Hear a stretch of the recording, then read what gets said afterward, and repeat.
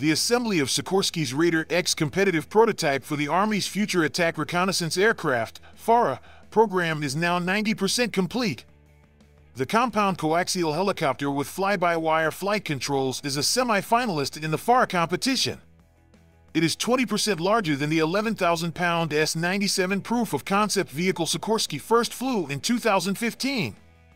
Sikorsky recently displayed the Raider X during a media briefing at its West Palm Beach, Florida test center. The company said the use of additive manufacturing, also known as 3D printing, digital tools, and other advanced processes has reduced lead time for aircraft components by more than 50%.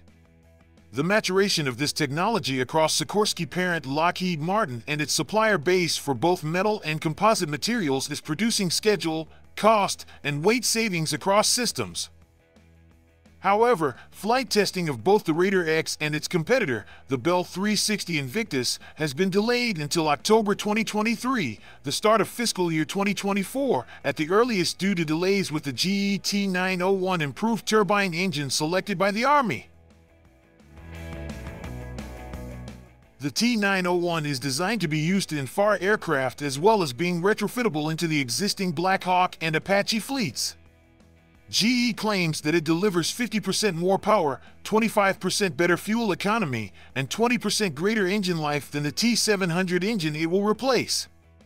The design combines the single-spool architecture of its current T700 with ceramic composites found on GE's new generation commercial jet engine models, including the CFM LEAP, in a way that lowers weight and increases performance and efficiency.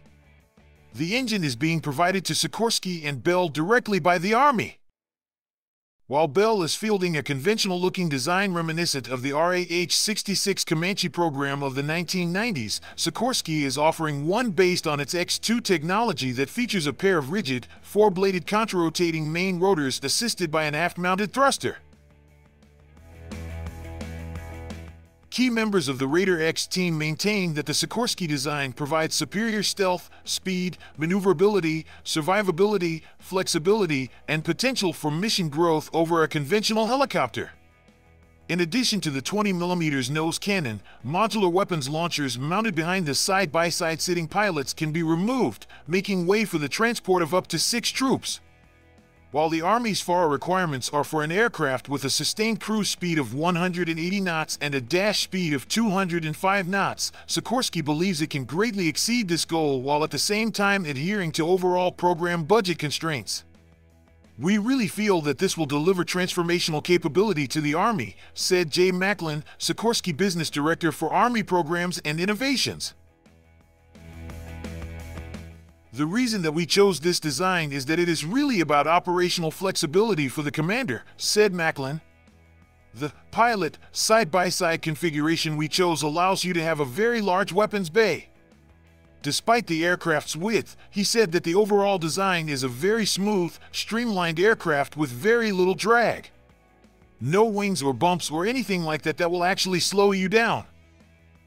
Using the S-97, Sikorsky has demonstrated a variety of maneuvers that cannot be accomplished with a traditional helicopter including high agility at low speeds, level body acceleration and deceleration, a turn distance that is half that of conventional helicopters, a cruise speed of better than 200 knots, reverse propulsor to slow descent, nose down hover for more time on target and precise weapons delivery, and disengaging the propulsor for whisper mode to sneak up on targets or reduce noise in cruise flight. Macklin said Sikorsky is continuing to expand the flight envelope of the S-97 and incorporate useful data into Raider X. To date, the S-97 has flown 180 hours at speeds up to 205 knots. The aircraft also has accumulated 503 ground hours and 2,850 software integration lab hours. We look at Raider as risk reduction for us. Every hour we fly it, some piece of data comes off of it that feeds into the design and answers a question as we build the Raider X competitive prototype, CP. Flying the S-97, we can get answers to our questions today without having to wait a year to fly the CP, said Pete Germanowski, Sikorsky FARA chief engineer.